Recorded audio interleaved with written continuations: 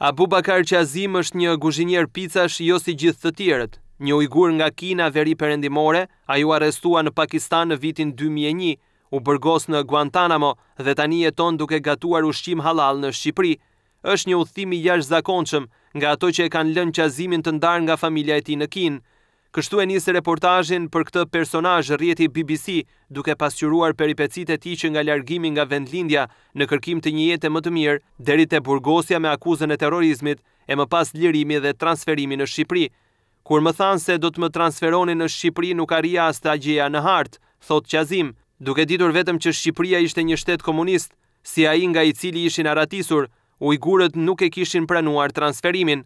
Por kur iu tregua se Shqipëria prej disa vitesh ishte një vend demokratik me shtatëdhjetë për qind të popullsisë myslimane, të gjithë fluturuan nga gëzimi. Ata udhëtuan drejt lindjes për dymbëdhjetë orë, po ndërsa avioni po niste uljen, Qazim u frikësua duke menduar se i kishin gënjyer duke i kthyer në Kinë. Avokati im më tha që të mësoja shqip dhe diçka që do të më hynte në punë.